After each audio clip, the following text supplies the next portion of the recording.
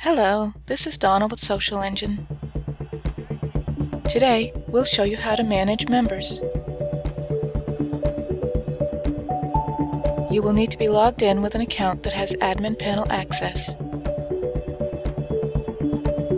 In your admin panel, navigate to Manage Members.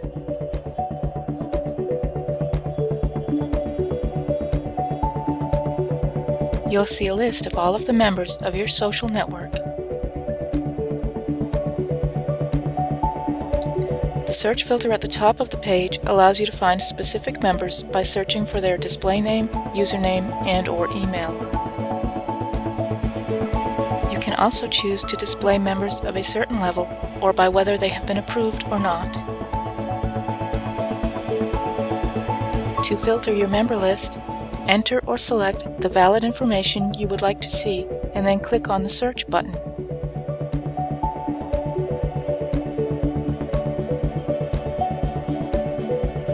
Clicking on the table heading links, such as ID, display name, etc., will sort the users by that column.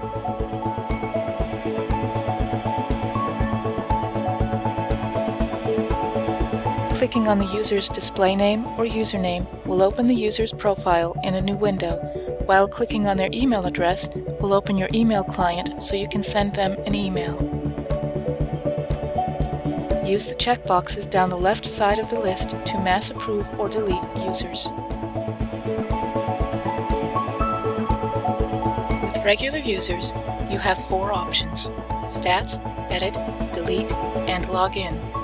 Super admins will only have Stats and Edit. The Login and Delete options won't be available. The Stats link will open a pop-up containing stats about the user.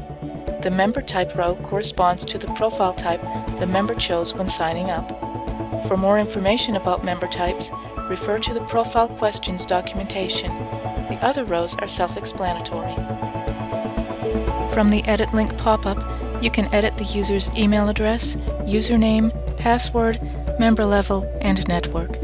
If you don't want to change the user's password, leave the password fields blank.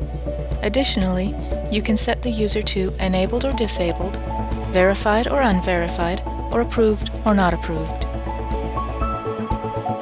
Approved. If the Administration Approval feature on the Sign Up Process page has been selected, then this field is for the administrator to mark the member as approved. Checking the box next to this member's name and clicking the Approved Selected button will also automatically mark this box checked. Verified. If the verification of email feature on the sign up process page has been selected, then this field will be automatically checked if the member has clicked on the verification link or visited the link that was sent to their email. Enabled. If an account has been marked Enabled, the account will be active and the user will be able to access the site. If the account is disabled due to waiting for payment, verification, or administrator approval, then the user will be unable to access the site.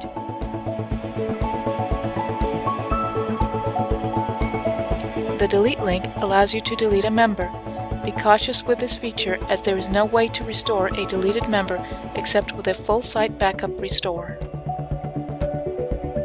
Clicking the Login link will allow you to log in as the user. This is useful for moderation purposes. For example, if a user has entered something offensive as an answer to one of the profile questions, you can log in as that user and edit their profile to remove the offensive portion.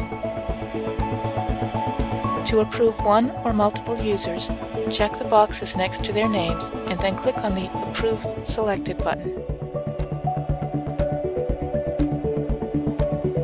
Note: The Approve Selected button will only check the Approved box in the Edit Member Settings pop-up.